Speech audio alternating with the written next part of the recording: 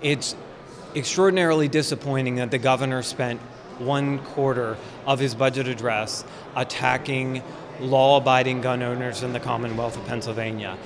We, as House Republicans, are going after the criminals and the illegal guns, and uh, the governor continues to go after our citizens who are law abiding gun owners across this Commonwealth.